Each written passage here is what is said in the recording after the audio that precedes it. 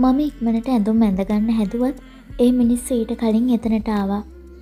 හොරින් beach ගියපු couple එකේ තරුණයාගේ බෙල්ලට පිහියක් තියලා තරුණිය හතර දෙනෙක් එකතු වෙලා කරපු සහගහපු සිදුවීම මෙන්න. අර වැටකෙය පඳුරුගාල් තියෙන්නේ. ඕවා එකක් අස්සට උදේ ගියාම හවස් වෙනකං අපි එතන තමයි ඉන්නේ.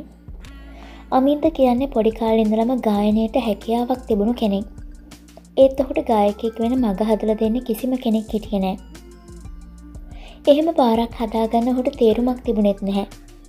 ඉතිං අමින්ද උසස් පෙළ අසමත් වනාට පස්සේ ඉස්සෙල්ලම කරන්නේ ගාමිනීගේ ත්‍රීවිලරය කුලියට දුවන එක. එතකොට ගාමිනීට හිටිය අවුරුදු දාහතක පුරු බුහුටි දැරිවියක්.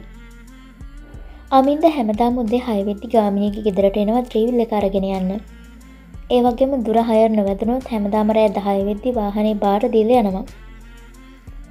ඉතින් කාලයගෙවමින් තියෙන අතරේ ගාමිනයගේ දූපොඩ්ඩ රවේශට අමින්දගේ ඇල්ම බැල්ම වැටෙන්න්න ගන්නවා.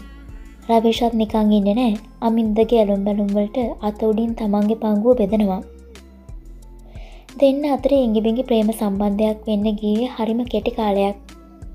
ගාමිනීලත් ඇස්කන් පියාගෙන වගේ දෝනියෙන්දව හැම ටියෂන් පන්තියකටම පිටත් කරේ අමින් දෙක ත්‍රිවිල් එකේ.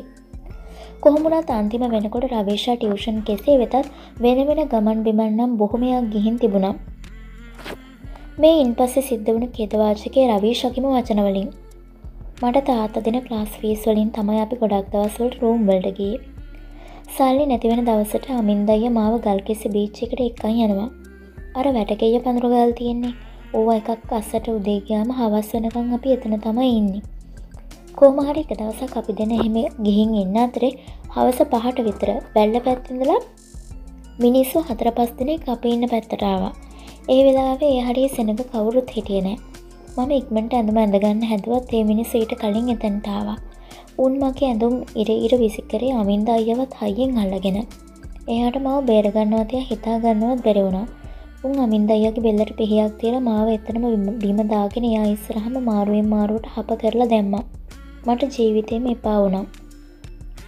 අපි පොලිසියට කියයි කියලා උන්ගේ සේරම වීඩියෝත් කරා. අපි මොනව කරන්නද? උන්ගාව ආයුදත් තිබ්බනේ. අනික ඒ වගේ මැරමිනිස්සු එක් අපි මොනව කරන්නද? උන් අපි ගාව තිබ්බ සල්ලිත් ඔක්කොම ගත්තා. අන්තිමට මගේ යාළුවක ඇඳුමක් පාර ගෙන්න්නගෙන තමයි එදා රෑ එහෙ යාළුවක ගෙදර නතර වෙලා ඊට පස්සේ ආවේ. අදටත් අම්මන මේ කිසිම දෙයක් දන්න නෑ අමින්දාය එදායින් පස්සේ මාව කවදාවත් බීච්චයකට එක්කන්ගේ නෑ. අපි රූම එකකට කියත් පුදුම් බයිකින් ඉන්නේ. හතරෙකුටවත් ඒ වගේ තැන්වලට යන්න නම් පාර පෙන්න්න එපා.